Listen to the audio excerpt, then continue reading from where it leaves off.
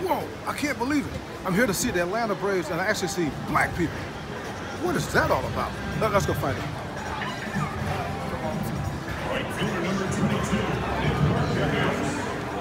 Big question here. What are you guys doing here? What, what is this all about? Why are you here? Well, you know, just came out for family fun and baseball. That's about it. Our kids play for Gresham Park, that, Yankees. Gresham Park, that's Marquis Grissom. He was a star for the Braves back in the day, okay? And, and here's the thing, okay? There are very few African Americans you see at ball games nowadays. And, and I'm just wondering, do you think that's because they don't see that many African Americans out on the field? Uh, kind of, yeah, yeah, in a way, yeah. Well, you know, and, and that's that's interesting because uh, way back in 1982, when I worked for the San Francisco Examiner, I did this research paper, and I discovered that in the mid 70s, that Major League Baseball was 27% African American. 1982 had dropped down to 18%. Now it's 8%. Can you believe that?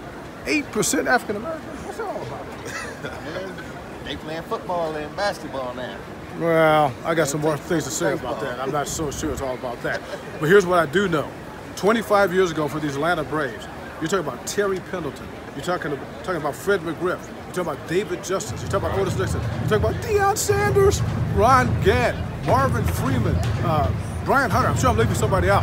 But you know one thing that I know for sure? Somewhere up there, Jackie Robinson is stealing home, sliding into a cloud, just screaming like, what the hell's going on out here?